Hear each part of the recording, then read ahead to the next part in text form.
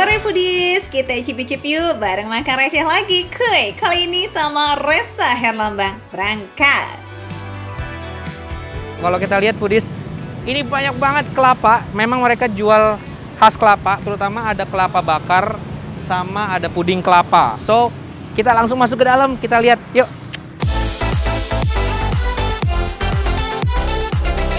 Nah ini dia rumah kelapa Az-Zahra Lokasinya deket banget nih dari area perumahan Di antara Jalan Kalimalang Raya dan Jalan Pahlawan Revolusi Foodies Di kawasan Pondok Bambu, Jakarta Timur Jadi dibak, dibakar terus Betul. di apa dikasih topping-topping gitu. Nah, ini Iya betul. Lihat tuh. Ini jadi proses Dia lagi dipotong-potong. sudah dibakar, gitu kan? Itu nanti Oh. diisi rempah-rempah. Diisi rempah-rempah. Iya betul. Serai, jahe. Wah, berarti ini emang cocok banget Foodies untuk situasi pandemi gini. Iya betul. Hati-hati, harus pakai sarung tangan kain yang tebal ya Karena kelapanya ini benar-benar panas setelah dibakar berjam-jam Bismillahirrahmanirrahim. Waduh. Oh, ini udah ada Iya. beberapa kelapa yang sudah diproses bakar ya. Jadi ini. Jadi memang biarin aja gini ya. Ah, jadi ini nanti setelah ini api Oke. ini keluar, Oke. ditutup ini kan nanti akan Oke. mati apinya. Jadi Oke. hanya bara aja yang di dalam ini. Nah, Foodies, jadi ini adalah proses kelapa yang tadi udah kita pilih, yang banyak dagingnya, betul Pak Ruli ya? Ya. Kita masukkan di dalam tengku ini, prosesnya kurang lebih hampir 3 jam. Sejak buka awal tahun 2020, rumah kelapa ini nyaris sold out kelapa bakarnya setiap hari. Keren ya, ini nih bisnis keren yang bisa bertahan di masa pandemi. Hebat. Memang sih di awal pandemi terjadi penurunan penjualan, tapi lihat sekarang yang datang nggak pernah sepi. Mantul. Waduh. Lihat Foodies. Tuh lihat. Ini kalau Foodies bisa lihat dari dekat, ini mendidih banget, panas banget ya. Jujur saya baru pertama kali nih lihat kelapa dibakar. Jadi I really want to taste that. Ya. Oke. Jago loh dia bahasa Inggris nih. Foodies tentu akrab dong ya dengan berbagai jenis rempah yang sering kita temui di dapur. Cara membuatnya juga tidak sulit, cuma perlu menyampurkan air kelapa dengan berbagai rempah yang ada. Eh ini apa sih yang lagi diulek nih apa nih? Ini jahe. Oh, ini jahe. terbaik juga di Indonesia. Betul. Ini Kita gunakan jahe. Boleh. Oke, ditumbuk atau diulek sama lah ya. betul. Jadi Foodies ini saya lagi proses ini jahe harus halus banget atau Nggak, nggak terlalu halus pun nggak apa-apa. segini cukup? Cukup. Nah, Foodies lihat saya habis ngulek jahe. Enak banget ya kelihatannya. Lazis, kelapa bakar rempah terdiri dari jahe yang sudah diulek, peserai, kapulaga, cengkeh, kayu manis, dan kembang lawang. Mantep nih sehatnya, pol-polan ya. Kelapa bakar ini memang sehat banget nih Foodies sepertinya karena terdiri dari rempah-rempah, madu. Jadi kayaknya memang cocok. Cukup Cukup.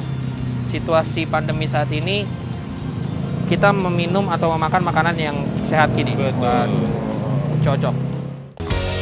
Bisa request isi puding kelapanya Foodies. Kita lihat ya, apa aja nih yang Resa pilih.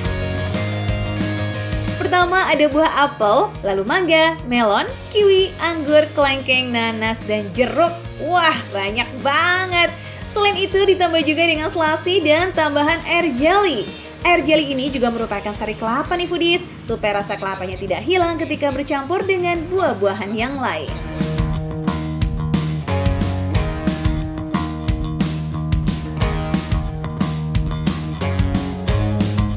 Ini pudis, ini kalau dilihat ini panas banget. Jadi saya mau coba. Bismillahirrahmanirrahim. Seger banget sih memang. Apa eh, ini kayak bener kayak wedang gitu, kayak bandrek gitu karena udah ada banyak tadi ada jahenya, ada apa namanya rempah-rempah yang lain. Jadi ini emang enak banget. Cuma karena memang ini dibakarnya hampir 3 jam foodies jadi memang masih terasa banget panas tapi langsung nyes gitu kayaknya enak gitu anget gitu di, di badan foodies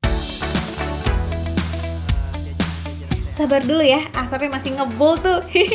Rempah-rempah ini emang enak banget diseruput ketika lagi hangat foodies. Kebayang dong ketika bercampur dengan air kelapa. Wih, mantul ya lazisnya.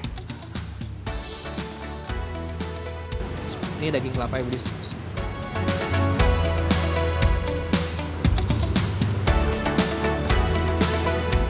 Enak banget, seger banget. Agak panas, tapi seger banget.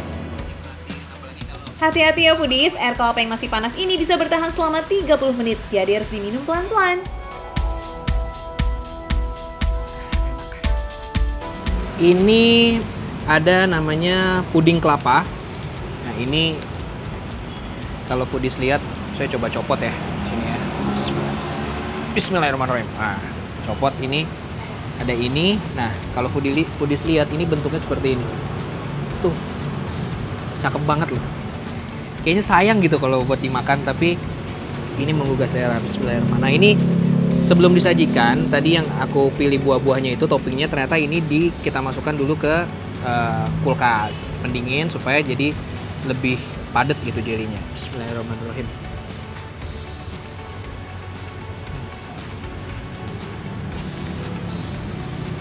Enak banget ya.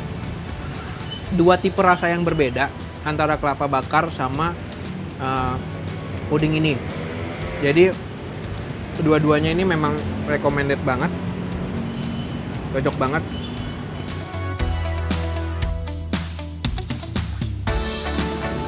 pasti Budi di rumah nih ngiler banget nih Padahal ada berbagai macam buah yang bercampur di dalamnya, tapi rasa kelapanya tuh enggak hilang. Yang pasti, khasiatnya jadi makin pol.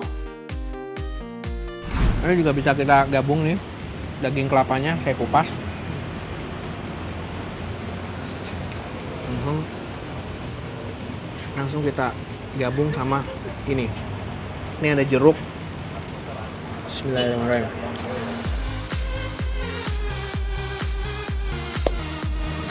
enak banget good tastes banget Budis Nah, kalau foodies punya uang Rp50.000, udah pasti bisa menikmati dua menu ini secara sekaligus. Gak perlu mahal-mahal ya, tapi ini sehat dan berhasiat. Nasinya tetap kerasa. Melonnya juga kerasa. Puding kelapanya juga kerasa banget. Jadi enak banget. Nah, ini kita gabung sama buah kiwi. Hmm. Kiwi.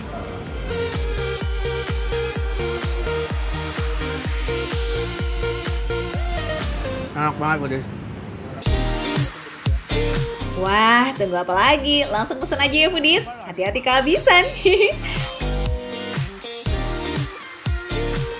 Ternyata bukan cuma dua menu tadi nih yang akan menemani Resa sore hari ini. Lihat tuh foodies, menu apa yang datang berikutnya. Tuh. Luar biasa. Kita coba ya.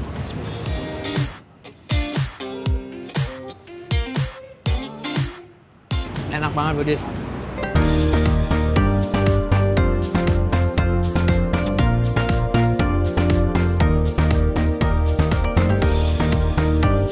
Kira-kira berapa sih harga sop durian ya? Tentunya rekomendasi dari makan receh nggak pernah mahal ya foodies. Budis, es durian ini harganya cuma 16.000. Kalau buat saya, 16.000 itu termasuk harga murah karena duriannya juga bener-bener asli durian. Terus juga ada buahnya lagi, ada alpukat juga, plus ada kejunya juga, ada irisan keju juga. Jadi aku rasa ini worth it. Makan receh, harga receh, rasanya nggak receh.